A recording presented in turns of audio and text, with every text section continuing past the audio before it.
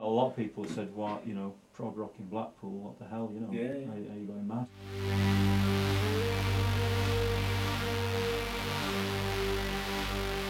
Blackpool's the perfect town for it. When I was growing up in Blackpool in the 70s and mid 70s, there was always a big kind of prog scene, you know, everyone was into prog at the time. But that's not your audience, your audience is worldwide. Nobody's ever thought this before. I think it's a really cool idea. Blackpool's easy to get to, it's cheap to stay in, it's got loads and loads of spaces to put bands and music on. British music is a very powerful thing, and the Blackpool era is kind of important in all of that because it did play host as a town to a lot of visiting musicians.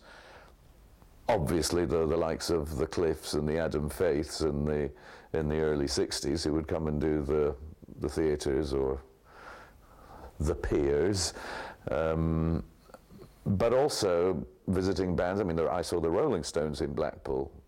Um, I, I guess uh, right at the beginning of their career, uh, I saw the high numbers in Blackpool before they became the Who. Um, so yeah, there was the opportunity to see bands in, in Blackpool, and, and that impressed a lot of us young kids, aged 13 or 14, and um, and we were out of the Blackpool bands. There were a number of them that uh, that did venture forth. Whilst I, I would argue that Jethro Tull is a prog rock band only for essentially primarily one album, which is Thick as a Brick, I do think it's it's appropriate to talk in terms of progressive rock if you keep it in a wide definition. You know, you keep it. Don't let it become, you know, too.